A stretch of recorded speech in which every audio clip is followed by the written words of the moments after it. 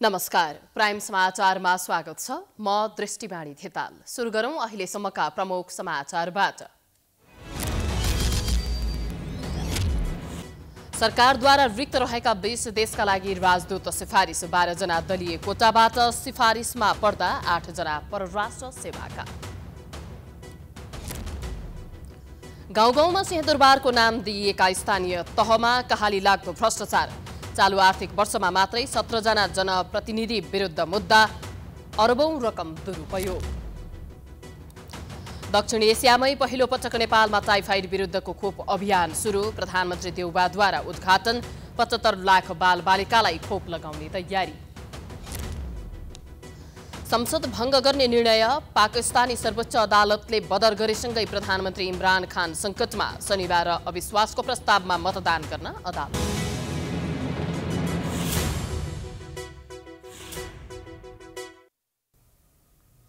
अब समाचार विस्तारमा। सरकारले विभिन्न देशमा रिक्त रहेका बीस राजदूत नियुक्तिका लागि सिफारिस गरेको छ। मन्त्री परिषदको बिहिबार साँझ बसेको बैठकले बाह्रजना राजनैतिक दलको कोटाबाट र आठजना परराष्ट्र सेवाबाट राजदूत नियुक्तिका लागि सिफारिस गरेको हो। राजनैतिक दलबाट सिफारिस भएका राजदूतमा नवराज सुवेदी डाक्टर रामस्वार्थ राय यादव नरेश विक्रम ठकाल ज्योति प्याकुरेल कान्ता रिजाल दिल्लीराज पौडेल कैलाश पोखरेल मिलन तुलाधर शर्मिला पराजुली ढकाल वासुदेव मिश्र दानबहादुर तामाङ र विष्णु पुकार श्रेष्ठ रहेका छन्। त्यस्तै परराष्ट्र सेवाबाट दुर्गाबहादुर सुवेदी ढजा पानड त्यसै गरी निर्मला काफ्ले भरत कुमार रेग्मी सुशील कुमार लम्साल डोरनाथ अरियाल तीर्थराज वाग्ले हरिश्चन्द्र घिमिरे र घनश्याम भण्डारी राजदूत नियुक्तिका लागि सिफारिस भएका छन्। शुक्रबारदेखि निर्वाचन आयोगले आचार संहिता लागू गर्ने भएकाले सरकारले हतारमा राजदूत सिफारिस गरेको हो। सरकारले सिफारिस गरेका नामको संसदीय सुनवाई भएपछि राष्ट्रपतिले नियुक्त गर्ने संवैधानिक व्यवस्था छ। दुईपटकको संसद विघटन विरुद्ध अदालतमा कडा बहस गरेका गोविन्द कोइराला अन्तत मन्त्री बन्न पुगे नेकपा एकीकृत समाजवादी निकट मानिने कोइरालाको काँधमा महत्वपूर्ण जिम्मेवारी आएसँगै उनी उत्साहित बनेका छन् शान्ति प्रक्रिया टुङ्गोमा पुर्याउने जिम्मेवारी पनि उनकै काँधमा पुगेको छ एक रिपोर्ट बढीमा छ महिनाका लागि मन्त्री बनेका गोविन्द कोइरालाले बिहिबारबाटै काम सुरु गरेका छन्। नवनियुक्त कानुन न्याय तथा संसदीय मामिला मन्त्री कोइरालाले मन्त्रालयमा पदभार ग्रहण गर्दै शान्ति प्रक्रियाका बाँकी काम सम्पन्न गर्न आफ्नो ध्यान केन्द्रित गर्ने बताएका छन्। राष्ट्रपति विद्यादेवी भण्डारीबाट पद तथा गोपनीयताको शपथ लिएपछि उनले मन्त्रालय पुगेर पदभार ग्रहण गरेका थिए। त्यस क्रममा सञ्चारकर्मीहरूसँग कुरा गर्दै कोइरालाले विभिन्न कारणले शान्ति प्रक्रियाका बाँकी काम सम्पन्न हुन नसकेको भन्दै आफ्नो ध्यान यसैमा केन्द्रित गर्ने बताएका हुन्। प्रधानमन्त्रीले शान्ति प्रक्रियाका विषयलाई निष्कर्षमा पुर्याउन दिएको जिम्मेवारी पूरा गर्ने उनको भनाइ छ। उनले सत्य निरूपण तथा मेलमिलाप आयोगलाई क्रियाशील बनाउनका लागि आवश्यक कानुन बनाइने जानकारी दिए। शान्ति प्रक्रियाका केही बाँकी कामहरू छन् जस्तो सत्य निरूपण तथा मेलमिलाप आयोग र बेपत्ता सम्बन्धी आयोगले गरिरहेका काम का सम्बन्धमा धेरै प्रश्नहरू छन् होइन? कतिपय कानुनहरू संशोधनदेखि लिएर सर्वोच्च अदालतको फैसला अनुसारको कानुन संशोधन भएको अवस्था छैन। त्यसले गर्दाखेरि भनौँ न अब त्यसले प्रपरली फङ्सन गर्न सकिरहेको छैन। यी लगायतका तमाम कामहरू पीडितलाई न्याय दिलाउनेदेखि लिएर यो शान्ति प्रक्रियाका बाँकी कामहरू चाहिँ सम्पन्न गर्नुपर्ने भएको हुनाले त्यही जिम्मेवारीको लागि म आउनाले मेरो सम्पूर्ण फोकस चाहिँ त्यही रहन्छ। यसअघि राष्ट्रपति कार्यालय शीतल निवासमा आयोजित समारोहमा राष्ट्रपति विद्यादेवी भण्डारीले मन्त्री कोइरालालाई शपथ गराएकी थिइन्। बिहिबार प्रधानमन्त्री देउबाले कोइरालालाई कानुन मन्त्री बनाउन सिफारिस गरेका थिए। प्रधानमन्त्री देउबाले गैर सांसद कोइरालालाई मन्त्री बनाएका हुन्। संविधानको धारा अठहत्तर अनुसार प्रधानमन्त्रीको सिफारिसमा गैर सांसदलाई राष्ट्रपतिले मन्त्री नियुक्त गर्न सक्ने व्यवस्था छ। यसरी नियुक्त भएको मन्त्रीले शपथ लिएको छ महिनाभित्र सङ्घीय संसदको सदस्यता लिनुपर्छ। अन्यथा मन्त्री पद स्वत खारेज हुन्छ। कोइराला पछिल्लो समय सत्ता गठबन्धनको पक्षमा वकालत गर्ने अधिवक्ता मध्येका एक हुन्। तत्कालीन प्रधानमन्त्री केपी ओलीले पुस पाँच दुई हजार सतहत्तर र आठ जेठ दुई हजार अठहत्तरमा गरेको संसद विघटन विरुद्ध दलहरूलाई कोइरालाले महत्त्वपूर्ण कानुनी सहयोग गरेका थिए। उनले दोस्रो पटकको संसद विघटन विरुद्ध शेरबहादुर देउबाको पक्षमा परमादेश जारी गर्न माग गर्दै सर्वोच्चमा दर्ता रिट निवेदन तयार गर्न नेतृत्वदायी भूमिका खेलेका थिए। त्यसबाहेक एमसिसी अनुमोदन गराउन व्याख्यात्मक घोषणाका लागि एकीकृत समाजवादी र माओवादी केन्द्रलाई मनाउनदेखि घोषणाको मस्यौदा बनाउनेसम्मको भूमिकामा उनी सक्रिय थिए। विगतमा नेकपा एमालेमा सक्रिय कोइराला अहिले माधव कुमार नेपाल नेतृत्वमा नेकपा एकीकृत समाजवादी निकट रहेका छन्। समाचारको सिलसिला जारी छ। हामी विश्राम पछि आउँछौँ। बाँकी समाचारको साथमा। गर्वैदेखि बलियो। सुगर्व सिमे।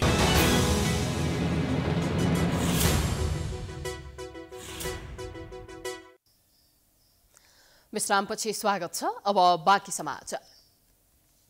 हामी कहाँ भ्रष्टाचारको सङ्क्रमण यसरी झाङ्गिएको छ कि? जटिल ढङ्गको शल्यक्रिया नै जरुरी भइसकेको छ। देखिने तथ्याङ्कको मात्रै कुरा गर्ने हो भने आधा वर्षमा नै साढे दुई अर्ब रकमभन्दा बढीको भ्रष्टाचार भएको पाइन्छ। अनि भ्रष्टाचार गर्नेमा अरू कोही नभएर जननिर्वाचित प्रतिनिधि सरकारी कर्मचारी पूर्व मन्त्री अनि व्यवसायी रहेका छन्। तर अख्तियार दुरुपयोग अनुसन्धान आयोगको सुस्त गतिका कारण समाजमा भ्रष्टाचार न्यून हुन सकेको छैन। एक रिपोर्ट। वडा र नगर विकास गर्ने भन्दै दुई हजार चौहत्तर सालको निर्वाचनपछि पद सम्हालेका जनप्रतिनिधि नै भ्रष्टाचारको मुद्दामा पक्राउ परे भन्दा तपाईँलाई कस्तो भयो होला? अझै आफैले दिएको मतको त्यसरी दुरुपयोग होला भन्ने सायदै कसैले सोच्दैन। तर यहाँ त्यही नै देखिएको छ। यो आर्थिक वर्ष सुरु भए यता फागुनको अन्तिमसम्म सत्रजना जनप्रतिनिधि भ्रष्टाचारमा मुछिएर अख्तियारको फन्दामा परेका छन्। त्यति मात्र होइन एकजना मेयर एकजना वडाध्यक्ष र तीनजना वडा सदस्य त रङ्गी हात नै पक्राउ परेका छन्। त्यसबाहेक बाहन्नजना त मनोनित पदाधिकारीले भ्रष्टाचारको मुद्दा खेपिरहेका छन्। पच्चिसजना व्यवसायी र एकजना पूर्व मन्त्री पनि अख्तियारको फन्दामा परेका छन्। उनीहरूबाट दुई अर्ब पचास करोड उनासी लाख नब्बे हजार एक सय एकासी रुपियाँ बिगो माग गरिएको छ। गत वर्ष यही अवधिमा अडचालिस प्रतिशत उजुरीहरू फर्सट भएका थिए भने यो वर्ष चाहिँ चौवन्न पर्सेन्ट उजुरीहरू फर्सट भएका छन् र यसमा हामीले सत्तरीवटा आरोप पत्रहरू विशेष अदालतमा दायर गरेका छौँ। त्यसमा दुई सय छैसठीजनालाई प्रतिवादी बनाएर दायर गरेका छौँ र यसको बिगो हेर्नु हो भने यो गत वर्षको तुलनामा अलिक उल्लेखनीय वृद्धि छ। जस्तै दुई अर्ब पचास करोड उनासी लाख नब्बे हजार एक सय एकासी बराबरको बिगो माग दाबी लिएर हामीले दायर गरेका छौँ। चालु आर्थिक वर्षमा अहिलेसम्म जम्मा सत्तरीवटा मात्र आरोप पत्र दायर गरिएको छ जुन परेका उजुरीको आधारमा अत्यन्तै थोरै हो। गत आर्थिक वर्षबाट सरेका आठ हजार तिरानब्बे र अहिले परेका नयाँ उजुरी दस हजार छ सय छैसठी गरी जम्मा अठार हजार सात सय बढी उजुरी अख्तियारमा जम्मा भएका छन्। अझै अचम्मको कुरा त सबैभन्दा धेरै भ्रष्टाचार स्थानीय तहमा भएको तथ्याङ्क अख्तियारसँग छ। तर ती सबै उजुरीको कहिले छिनोफानो हुन्छ भन्ने अख्तियारलाई पनि थाहा छैन। प्रक्रियागत तरिकाबाट नै अगाडि बढेर आफूहरूले छिटो टुङ्ग्याउने दावी अख्तियारको छ। तपाईँको सानो खालको कुनै स्टिङ अपरेसन गरेर लिएर आएको कुराहरूको अनुसन्धान प्रक्रिया अथवा त्यो अनुसन्धान एउटा टुङ्गोमा पुर्याउने कुराहरू अलिकति चाँडो उसले आएर यहाँ साबित हुन्छ दसी प्रमाणसहित छ। त्यो कुरोको एउटा टुङ्गो पुग्ने हुँदा त्यो अलिकति चाँडो जाँदो रहेछ। अलिकति ठुलो खालका गहन खालका केसहरूमा अनुसन्धान पनि गहन हिसाबले गर्नुपर्ने अनि त्यो प्रमाण सङ्कलन तथ्य सङ्कलन गर्नलाई त्यसलाई समय लाग्ने र त्यसलाई तपाईँको परीक्षण गर्ने भेरिफाई गर्ने लगायतका कुराहरूले अलिकति समय लागेको देखिन्छ। अब यसको चाहिँ विषयवस्तु अनुसारको त्यसमा समय लाग्छ। यो कुरा हामीले गोप्य रूपमा पनि गर्नुपर्ने अवस्था छ। आयोगले दिएको तथ्याङ्क अनुसार गत वर्ष फर्स्यौट दर अडचालिस प्रतिशत थियो भने यो वर्ष भने चौन्न प्रतिशत छ। तर जम्मा उजुरीको हिसाब गर्ने हो भने हरेक दिन यहाँ नब्बेभन्दा धेरै भ्रष्टाचारका घटना हुने गरेका छन्। तर त्यसलाई रोक्न न त अख्तियार सफल भएको छ न त अन्य कुनै निकाय नै। यही अवस्था कायम रहे देश भ्रष्टाचारको दलदलबाट निस्कन मुस्किल पर्ने देखिन्छ। संक्रमक रोग टाइफाइड विरुद्धको खोप अभियान आजदेखि देशभर सुरु हुँदैछ। दक्षिण एसियामा पहिलो पटक नेपालमा यस्तो अभियान सुरु गरिएको सरकारी अधिकारीहरूले बताएका छन्। यो रोग सबै उमेर समूहको व्यक्तिहरूमा लागे पनि विशेष गरी पन्ध्र वर्ष मुनिका बालबालिकामा धेरै हुने भएका कारण देशभर टाइफाइड विरुद्धको खोप अभियान सुरु गरिएको हो। एक रिपोर्ट। नेपालमा अझै पनि टाइफाइड रोगको उच्च संक्रमण र जोखिम रहनुका साथै अस्पताल भर्ना हुने कारणमध्ये प्रमुख पाँच भित्र देखिएको छ। नेपालमा टाइफाइड संक्रमणको अवस्था सामान्य भन्दा दस बढिरहेको अनुसन्धानबाट देखिएको स्वास्थ्य सेवा विभागले जनाएको छ। नेपालमा प्रति एक लाख जनसङ्ख्या मध्ये एक हजार छब्बिसजनामा टाइफाइड देखिने गरेकोले खोप आवश्यक भएको भन्दै खोप अभियान नै सुरु भएको छ। बिहिबार प्रधानमन्त्री शेरबहादुर देउबाले खोप अभियानको सुरु गरेका हुन्। शुक्रबारबाट आगामी वैशाख अठार गतेसम्म देशैभर टाइफाइड खोप अभियान तथा राष्ट्रिय खोप कार्यक्रममा समेत नियमित सञ्चालन हुनेछन्। कार्यक्रममा प्रधानमन्त्री देउबाले कोभिड संक्रमण नियन्त्रण गर्न सफल भए जस्तै टाइफाइडमा पनि सफलता पाउने विश्वास व्यक्त गरे। उनले यो अभियानबाट देशका पन्ध्र महिनादेखि पन्ध्र वर्ष उमेर समूहका करिब पचहत्तर लाख बालबालिका लाभान्वित हुने जानकारी दिए। सबै बालबालिकालाई खोप दिलाउने कार्यमा सहयोग गर्न हुन म सबैलाई आग्रह गर्दछु जसरी हामीले कोभिडको खिलाफको लडाइँमा धेरै हदसम्म सफलता पाएका छौँ मलाई विश्वास छ यो टाइफाइड रोगको खिलाफमा पनि हामी अवश्य नै सफल हुनेछौँ त्यस्तै स्वास्थ्य तथा जनसङ्ख्या मन्त्री विरोध खदिवडाले कोभिड रोग नियन्त्रणमा नेपालले विश्वमै उदाहरणीय सफलता हासिल गर्न सकेको उल्लेख गरे। उनले दक्षिण एसियामा नेपालले पहिलो पटक टाइफाइड रोग विरुद्धको खोप अभियान सुरु गर्न लागेको जानकारी दिए। सोह्र थरी खोपमा सोह्रै थरी खोप प्रत्येक देशले लगाएको अहिलेसम्म लगभग लगभग छ भन्ने जस्तो लाग्दैन। तर हामी कहाँ एघार प्रकारका खोप योभन्दा अगाडि हामीले लगाइसकेका छौँ लगाइरहेका छौँ। आजबाट भोलिबाट यो टाइफाइड विरुद्धको खोप सञ्चालन भएपछि बाह्र प्रकारको हुन्छ। त्यसपछि तपाईँहरूलाई अर्को खुसीको खबर के भन्दा हामी केही दिनभित्रै यो खोप अभियानपछि बालबालिकालाई दिइने नियमित खोपमा टाइफाइड विरुद्धको खोप पनि समावेश गर्ने तयारी मन्त्रालयले गरेको छ। नियमित खोप अभियानमा पन्ध्र महिना पुगेका बालबालिकालाई खोप लगाइने निर्णय स्वास्थ्य मन्त्रालयले गरेको हो।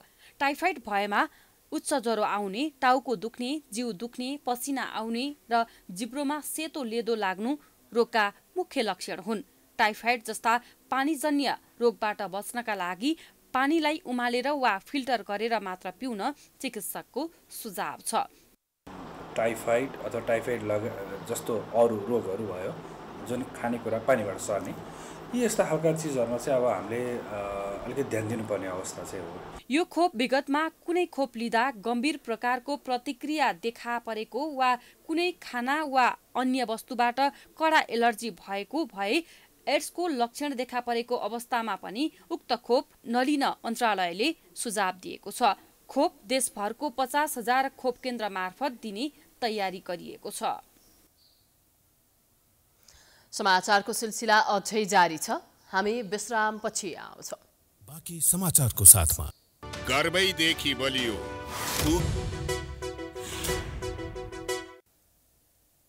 विश्रामपछि स्वागत छ। अब अन्तर्राष्ट्रिय समाचार।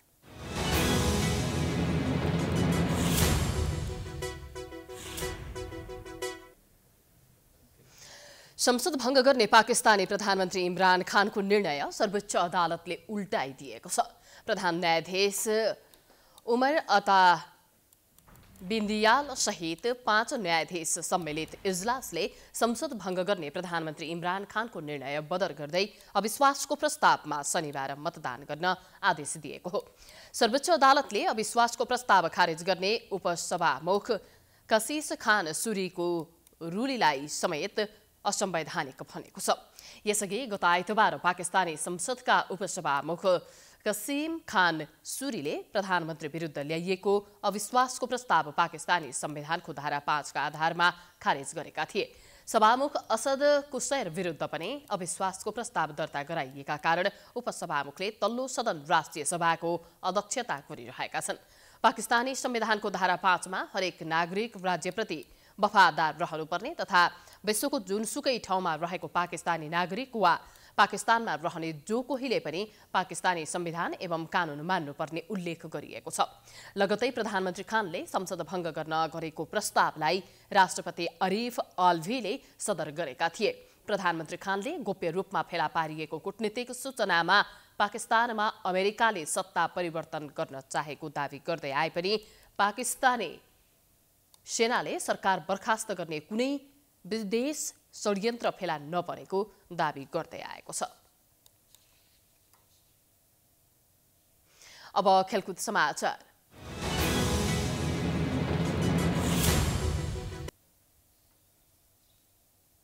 हामी समाचारको अन्त्यमा आइपुगेका छौँ। जाँदा जाँदै प्रमुख समाचार पुनः एकपटक। सरकारद्वारा रिक्त रहेका बीस देशका लागि राजदूत सिफारिस। बाह्रजना दलीय कोटाबाट सिफारिसमा पर्दा आठजना परराष्ट्र सेवाका। गाउँ गाउँमा सिंहदरबारको नाम दिइएका स्थानीय तहमा कहाली लाग्दो भ्रष्टाचार। चालु आर्थिक वर्षमा मात्रै सत्रजना जनप्रतिनिधि विरुद्ध मुद्दा अरबौं रकम दुरुपयोग। दक्षिण एसियामै पहिलो पटक नेपालमा टाइफाइड विरुद्धको खोप अभियान सुरु। प्रधानमन्त्री देउबाद्वारा उद्घाटन। पचहत्तर लाख बालबालिकालाई खोप लगाउने तयारी। संसद भङ्ग गर्ने निर्णय पाकिस्तानी सर्वोच्च अदालतले बदर गरेसँगै प्रधानमन्त्री इमरान खान सङ्कटमा। शनिबार अविश्वासको प्रस्तावमा मतदान गर्न अदालतको आदेश। प्राइम समाचार अहिलेलाई सकियो। हेर्दै गर्नुहोला प्राइम टाइम्स एसडी।